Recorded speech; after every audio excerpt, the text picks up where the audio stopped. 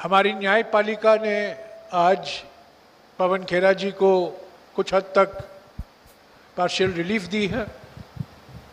ये सपूत है कि हमारे देश में मोदी सरकार के प्रयत्नों के बावजूद न्यायपालिका हमारे लोकतंत्र के लिए अभी भी एक ज्योति बनी हुई है।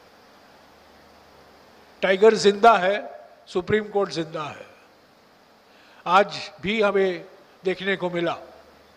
हालाँकि मोदी सरकार के कई मंत्री और कई और दिग्गज व्यक्ति न्यायपालिका को घबराने में, न्यायपालिका को धमकी देने में लगे हुए हैं, पर हमारा विश्वास हमेशा रहा है कि